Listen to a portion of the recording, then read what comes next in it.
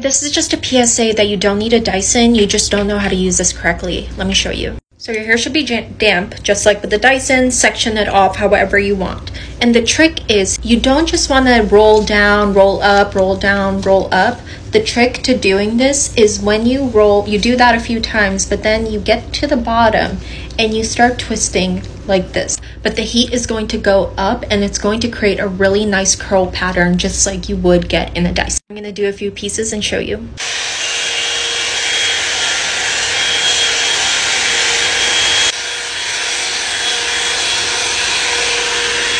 The bottom's done, I'm gonna clip it and do the top. Also to make it faster, I only do two big sections so you can see my hair. I'm only doing this section, then another one in the front. And here's how it looks. Took me less than 10 minutes.